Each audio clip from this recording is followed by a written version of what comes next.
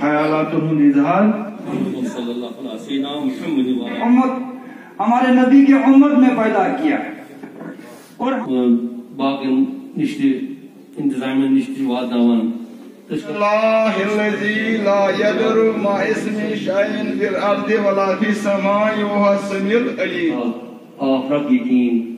अल्लाह दूर करेगा कोविड 19 कि हमने किस तरीके से इस कारवान को आगे चलाना है। सबसे और ये दुआया एहतमाम गो चूँकि डॉक्टर फारूक अब्दुल्ला साहब कुन तारफो हमेश पन यम खलूस नियत मुखलिसी सान यमि कौमच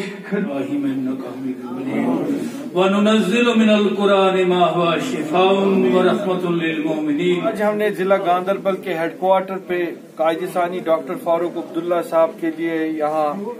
अलमा हजरातों की और जो हमारे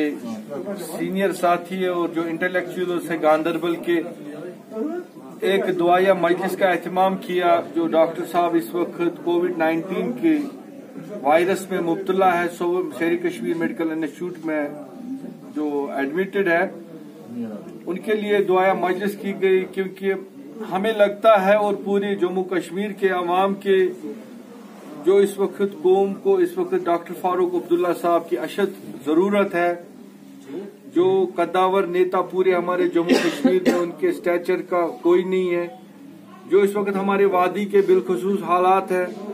उनमें हमें लग रहा है कि डॉक्टर फारूक अब्दुल्ला साहब ही जो है, इस कौम को, इस वक्त उस इस मुश्किल दौर से निकाल सकते हैं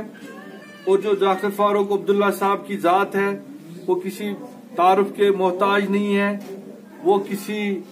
और चीज़ के, वो एक बैन अवी शहरत याफ्ता शख्सियत है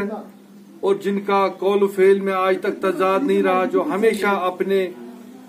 सच्चे दिल और सच्चे बात के लिए माने जाते हैं पूरे हिंदुस्तान और पूरी दुनिया में, जिन्होंने हमेशा यहाँ सालमियत भाईचारे को हमेशा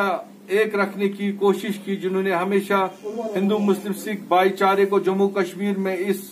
हमारे इस ताने बाने को हमेशा संभाल के रखा। इस, हमें भी आज तक उन्होंने यही सिखाया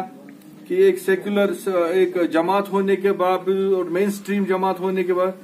कि हिंदू मुस्लिम भाईचारे हम सब एक है। और आज हम यही अल्लाह से दुआ करते हैं, उनको जल्द अज जल्द सेहतियाब करे और जो बाकी के हमारे इस मर्ज में मुबतला हमारे जम्मू कश्मीर की आवाम है या हमारे मुल्क में उनको भी सेहतियाब करे। और आज के दिन आज मैं आपके चैनलों के वसादत से लोगों से भी ये गुजारिश करना चाहता हूँ कि आप ज़्यादा से ज़्यादा वैक्सीनेशन ड्राइव में हिस्सा लीजिए। जो 45 साल से ऊपर के लोग हैं वो वैक्सीनेशन सेंटर पे अपना वैक्सीन करवाए एडमिनिस्ट्रेशन का साथ दे। मास्क पहना करे सोशल डिस्टेंस क्योंकि ये ऐसी बीमारी है, जिसका कोई पता नहीं, आप ये मत समझिए कि कोई बचा है। अगर आप ऐसे, क्योंकि बाल बच्चों वाले आदमी हैं, और यहाँ इस वक्त बहुत, इस वक्त पूरी दुनिया में इसका कहर है, अल्लाह हमें इसे नजात दे।